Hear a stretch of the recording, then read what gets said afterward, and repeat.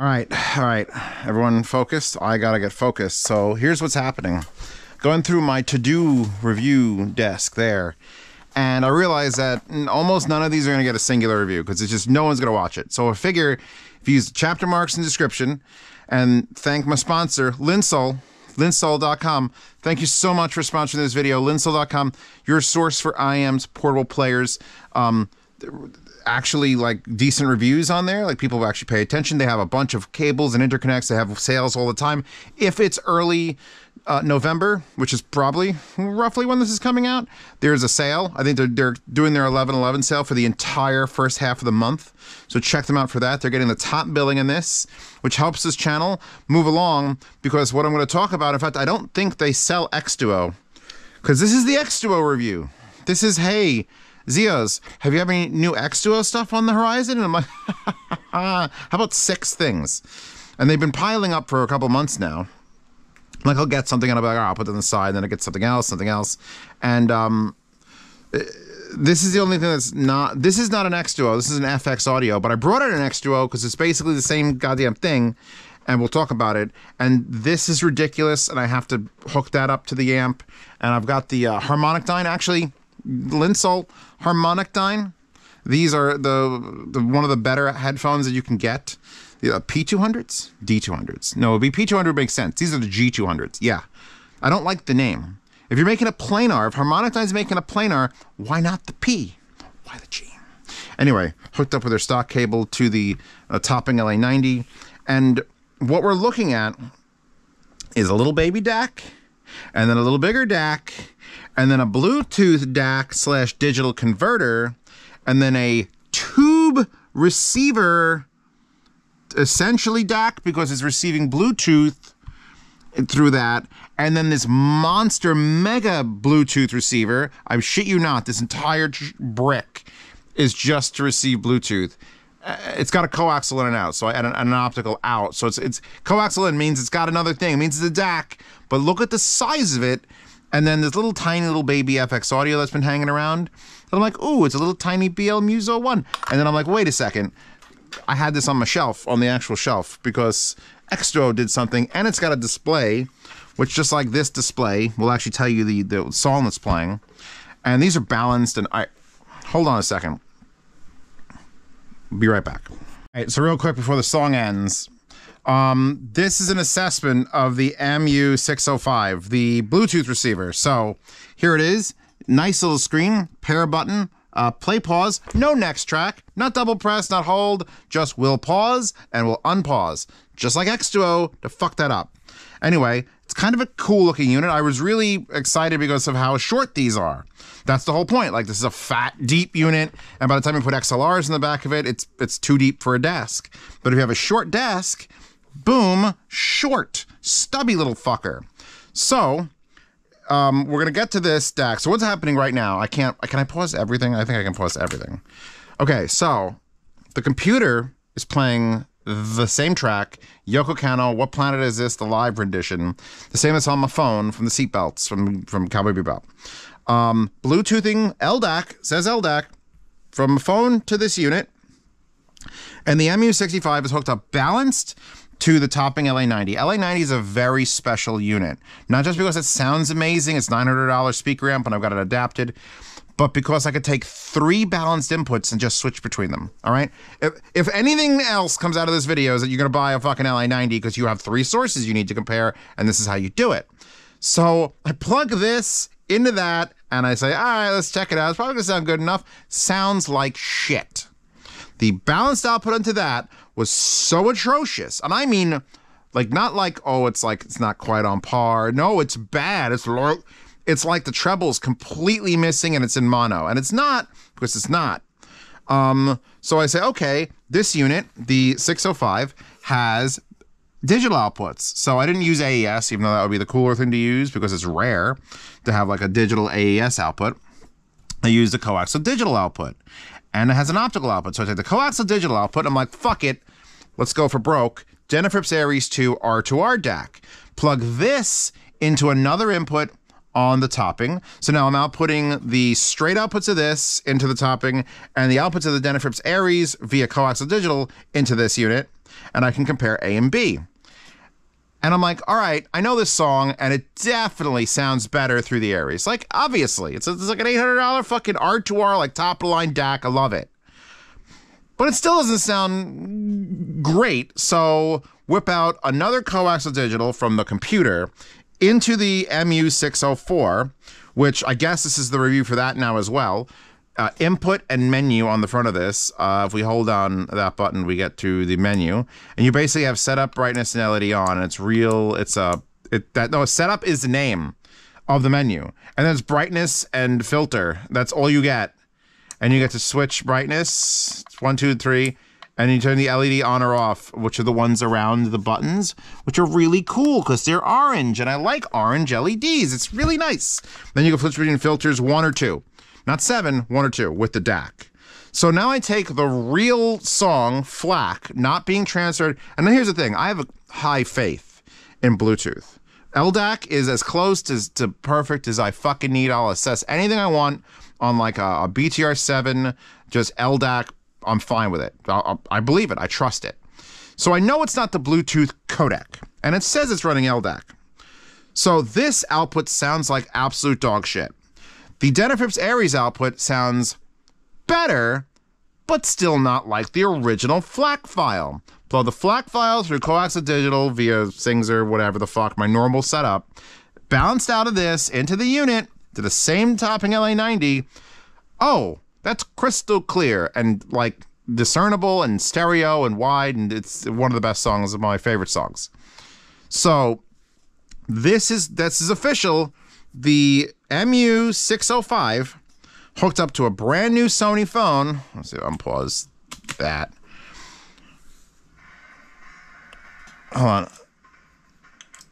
All right. Input two is this. Absolute dog shit. Sounds mono. Like, that's definitely, that's, I unplug it, a channel goes out. LDAC, there's no options. It, it just doesn't, I wonder, you know what, I gotta know. I gotta know. Uh, headphone demo, headphone demo. Oh, it's not gonna do it because it's the other thing. All right, oh, I fucked that up because I'm dumb. Um, I, I, it sounds mono. It's this. The outputs in this sound mono. Now, am I gonna even bother testing the RCAs? No, because the balance sucks. It sucks. So, but now here's the real problem. What it should do, just like the BTA30, is it should take the digital input from the Bluetooth and just convert it to digital and let the let the DAC do its thing. The problem is, I got the, one of the world's greatest DACs right here, plug into one of the world's greatest amps, and it still sounds kind of like shit. It's better than this.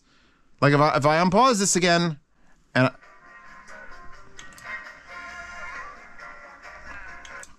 like go, it, it, it, I don't know if you're able to hear this, but ready? No, you're not gonna be able to hear it. But it's like okay, it's like seventy percent better sounding through the Denafrips Ares. And then you bounce all the way back to where the fuck I was complaining a second ago. Let's put it right to the end of the song. Where are we? Like four minutes in here. And now.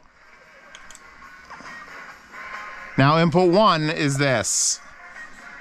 Yeah, input one is now this. And it's like, okay, there's the extra 25%. And that means that at this moment, this little MU604 sounds better than a Denafrips Ares. And it's not the Denafrips Ares fault, and this thing isn't the greatest thing in the world. It's because this thing sucks. MU605. I didn't think it could suck. Maybe my unit's defective. All right, I have to throw that out there. But something is wrong with this. This is a no go. So now let's clear some shit off the desk and, and try try again. So now I'm trying to connect the uh, XQ100 which is a nearly $400 Bluetooth receiving DAC that's also happens to have a coaxial in, but only that DAC. It won't connect my Bluetooth. Like it's there and it goes connect and it just it doesn't connect. And it says unpaired. I got the fucking manual pamphlet out. And it's like double press to play pause button to put it into a forced pairing state. Meanwhile, the screen just says, oh, this is such a heavy unit. It just says Bluetooth unpair. And no matter what I do, if I turn it off, on 110. Here's your switch here. Turn it on. Goes through the Xduoo, X Duo, Exodo. Existence? That was a weird movie. I don't know if it was a good movie or bad, but it's just a movie. It takes forever to boot. Then it says XQ100 unpair, and that's all it says. And if I tell it to forget this here, we go back. It's gonna pair a new device. Wait for it's gonna be there. It's gonna be there. It's not there. It should be there. Let's, uh, let's see if I double press this. Because nothing changes there. No. Nope. Now it's not even showing up. Now it's not even showing up. Antenna's plugged in. Oh, there it is. XQ100. Click. Pair. Watch this. It's going to ask me once to share my contacts. Don't need to do that. It goes up. XQ100. And that's down here. Connect XQ100. Oh, sweet. It's going to be great. And down here. Uh, so the plan was the plan was to test out the outputs on this unit, which is a much more expensive unit compared to like the Denafrips Ares. But if I can't Bluetooth to it, then I can't. You, you feel me? I mean, I still can. Here's what I could do. I would now disconnect the coaxial jumper that's going from here to there. I'd have to take this is the coaxial from the computer going to this unit. I'll take this, plug this in to this unit's in and out, then switch this input to coaxial, which says no signal. And there's definitely signal. Now what is it? Am I hallucinating? No. Wow, it didn't it doesn't even find the signal from the um from the computer. See, that says no signal because I unplugged it. If I unplug this from here, I did plug this into the correct unit, right? Yeah, coaxial in, out. Then there's optical out, then there's left and right out, and there's balanced out. Plugging this into here should give a signal, and it says no signal. So now unplug this, and I plug it back into the MU604 DAC here, 441. So this unit refuses to work at all. And it's been sitting there haunting me like, oh man, I'm gonna have to do a whole review on this unit, and it just it doesn't want to make the go. And it still shows up even when it's not in coax and when it's not in Bluetooth mode, and does the same same thing no matter what. It doesn't change. I read the manual, whatever little bit of manual there was. It's got good spec. If this worked, it'd be it'd be interesting because then it could be like the main Bluetooth receiver. Like it'd be nice to have a Bluetooth receiver with a really nice DAC in it. But it's like this is a, why. I don't understand the, the, the need. All right. I don't understand the need. I need to understand the need. I'm Zeos. I am the everyday man. And I can have all this shit. But at the end of the day, I have to understand the need for the most human beings on the earth. And uh, $400 you know Bluetooth receiver. Look, there are DACs that have Bluetooth in it. Most of the topping, most of the SMSL higher end DACs have Bluetooth and remote controls and filter settings and all sorts of nice things. I will say, I think I know why this doesn't work because Xduoo remembered to put next track, last track buttons on it, so we'll be able to switch between the only unit in the fucking gear Earth besides their balanced one where you actually have like very easy like next track, last track, play pause. And I tried holding both of these in case the, the manual was wrong, just to get it to pair, and she don't pair. Look how much space there would be for waifus. But nope, so this one is um, that's a lost cause. So I'm gonna shut the camera off again and reorganize, and we'll just keep going through the list. All right, the next little science experiment. So uh, now I've got the MU604, same song, Tower of God Aquarium versus Tower of God Aquarium versus this thing, which is the what the hell is your model number? The MU603.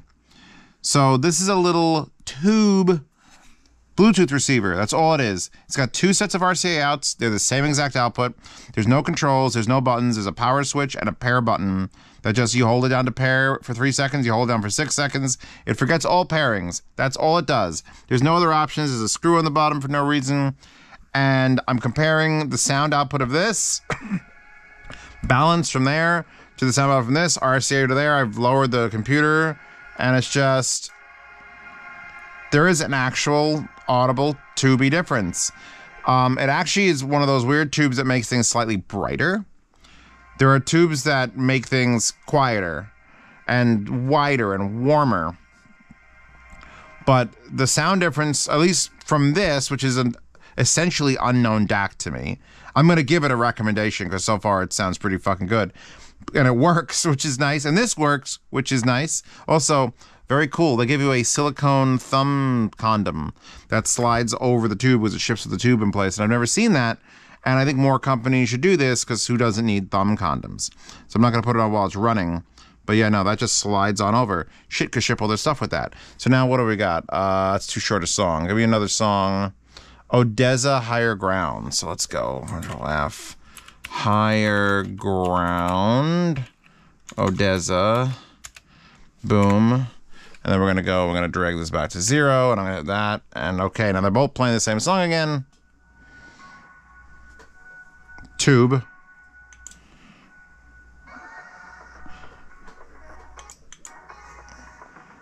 Yeah, I'm actually going to raise that volume. There, uh, all I want to hear with a tube device is different assuming that this is neutral and straight and, and single-ended and you know there's no fucking fucking around well it's actually balanced it's not single-ended but assuming that this doesn't have any class a fuckery or any sort of weird op amps and that this is neutral this sounds different and it's adorable I actually have the prices up. I opened up all of these on APOS. If APOS didn't send me all these, well, I'll link to the proper places.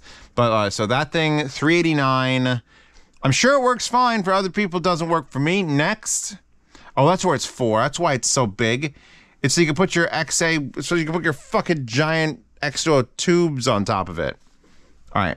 Forget that one for now. It's too expensive regardless of how it sounds. It would have to have been like God tier. So we're going to close that one. Um, we're going to get to this one. We're on the the Bluetooth receiver. Fucking the 605 was 179. So that's a no. That sounded like ass. Uh, although, when something sounds that bad Bluetooth, it usually means it's hooking up as a communication device and not a music device. Because when you use a headset, microphone out is a channel and microphone and sound in is a channel. So it's like mono and low bit rate. So that could very well be the reason that this sound like ass. Problem is, I got no way to tweak it. So for now, I'm just gonna say whatevs on that. BTA 30 is fine. Um, this guy here, 169, solid so far.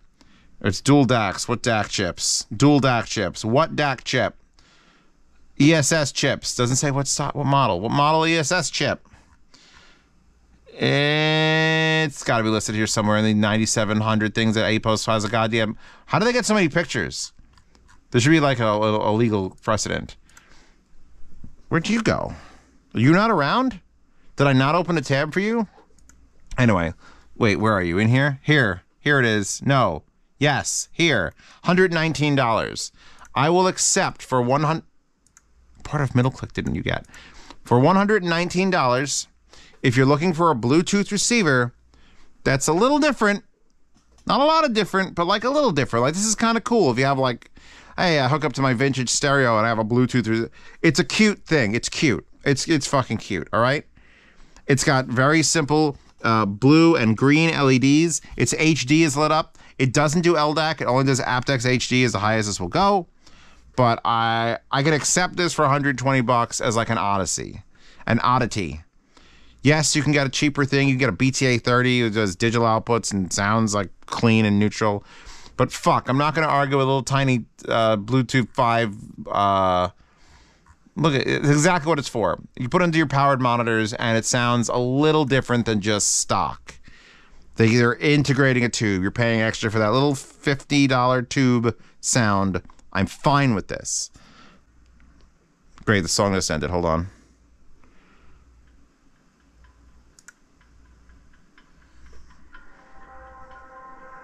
It doesn't distort either, but there's no volume controls. There's no next tracks. It's, the pair button could have been double click for pause and hold for next track.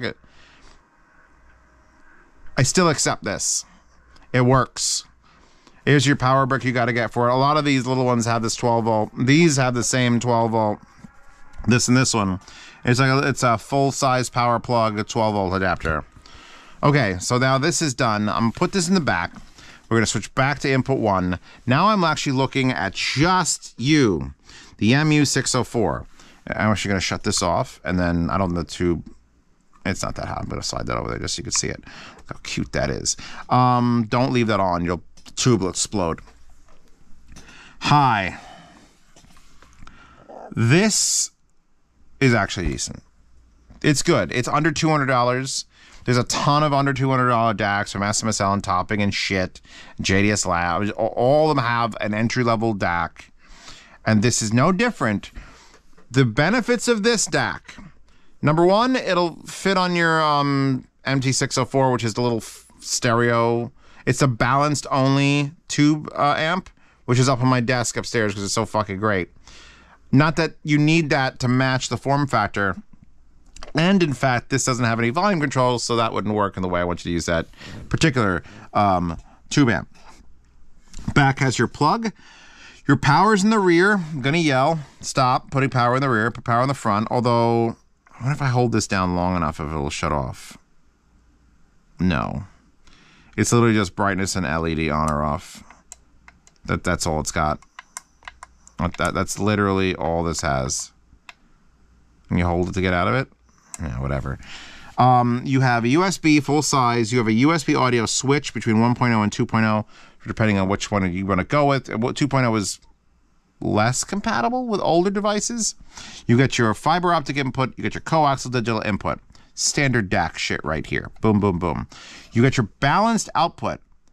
Pretty sure it's balanced. Like I don't know. It's 2022. A lot of Schiit's been like becoming balanced. That isn't balanced. They just made a balance there for your convenience. I'm pretty sure it's balanced. So you get your balanced XLR outputs and you get your non-balanced RCA outputs. Why you would buy this particular DAC over a shit or an SMSL or a topping is form factor.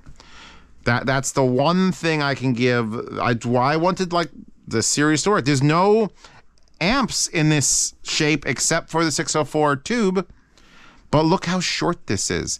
Most DACs, once you add the XLRs, they're fucking huge. But look at look, this is like seven inches from like a crushed XLR turn on these are the world's best XLRs. Not because they're the world's best XLRs, because they're the world's best XLRs, which actually are the world's best, X, best XLRs. Look how little space this will take up on your desk using those.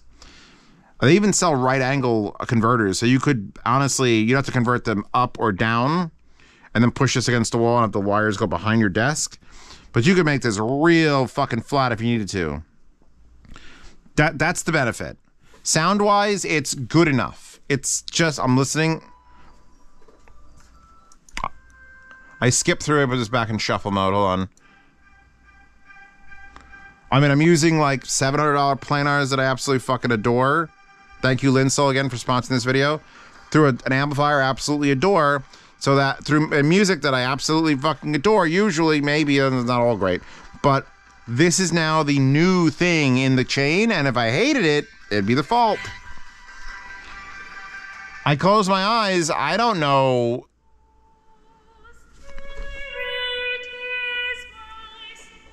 This is High School of the Dead? The fuck? Oh Spirit from High School of the Dead? Uh, are you sure the soundtrack didn't get messed up? That sounds fucking amazing. Yeah, if I could say any songs at all sound fucking amazing, then obviously this is not the bottleneck at the moment. W- would oh, a $700 R2R DAC sound probably better? Yeah, probably. In fact, I tested it. And there was definitely a different sound, shape, and feel to it. But for the price this is, I'm not going to knock it. It actually functions as it's supposed to. Do I got to rewatch all of High School of the Dead? I think I do on my Discord. Actually, I think I want to do Discord movie nights or Discord anime catch ups. No one's watching Akiba Maid War, and it's the goat of the season. You know, Chainsaw Man, Chainsaw Man, oh, power is hot. Bitch, have you seen maids kill each other for no reason? I have. You know, this is a this is a quality DAC. It's not doing anything wrong. It doesn't sound nasal or mono. There's no problem with power, you know, voltage coming out of it. So this gets a this gets a full thumbs up from Zeos. Now we've got to move on to the last two things. Oh god, this video is gonna take forever. Let me get this plugged in, which I'm gonna do by um, turning that off and then plugging this in. And then, so I'll give you the tour of this unit before I shut the camera off and set it all up. This is the M Wow. Where? Over there? You don't know? He might have been in the chairs. Like space here. Wow. Where is it? I don't. I agree with you. Mer. Murples. All right. So final. Well, no, not final, but one hundred twenty-nine dollars gives you this little guy, which is the butt basic. I don't know why it's called butt basic, but I get that. MU601. So power, same 12 volt transformer. You have a USB in the back with a one and two switch for the format. A coaxial out which is rare, honestly, to have a USB in and coaxial out. So it'll do a conversion, so you could use another DAC. So this will be a DAC. It has two RCA outs, so you could feed two different so two different things, either an amplifier like this and speakers like that. Although there's no control, you'd have to control the control at the source. So you get two outputs here and a coaxial output, which means you could plug it to another DAC like the 604, and then you'd have RCA out, RCA out, bounce out, RCA out. So you gotta just keep stacking them across. Um, and it's not that much cheaper than the 604. If you need balance, you get the 604, which also has this feature USB uh, input in the front. So it has USB in the back and USB in the front. I think it just overrides. There's no switch. There's only switches for power here. And it's very, very understated. You got a little glowing logo there. You got it says 48K there. And if you look on the screen in the right light, other than seeing the fingerprints, it does 384, does DSD 64, DSD 128, and DSD 256.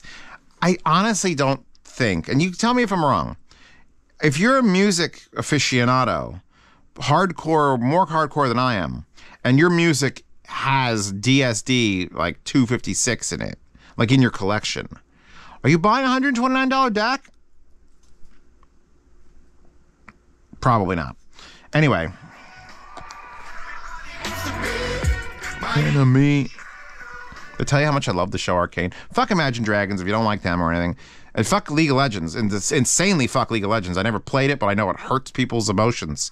But that show is probably the best piece of media ever created. don't take that lightly, motherfuckers. Um. Oh, I'm trying to change tracks with this, and it's this. So yeah, no, I'm I'm getting the same like the quality DAC. This is another ESS Sabre DAC. They actually say the model number of the DAC in this one. It is the ES9018K2M Sabre. And you know what? That's fine. I, I would like to see this at $99. 129 is like, why would you buy this at 129 when you can get that for only like $30 more and it's balanced and it's got the same things it's got buttons and lights i don't know. It's just a it's just a decent small DAC. I wish it had coaxial or fiber optic inputs. It would be more useful to me personally but for like just hooking up and actually i didn't even know this cable would work for ogg but puts up a giant cable to it it's outputting from a phone straight into that outputting from there into an excellent amp and headphone setup. You could bounce it into another one. 129, I could accept it. I'd like to see it at 99.